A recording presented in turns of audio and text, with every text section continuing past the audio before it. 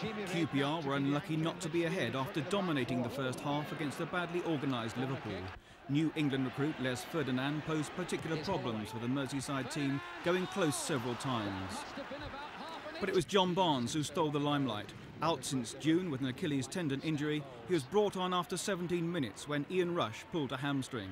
He helped Liverpool dominate the second half, and Barnes showed some of the old magic four minutes from time when he picked out Ronnie Rosenthal with a through pass.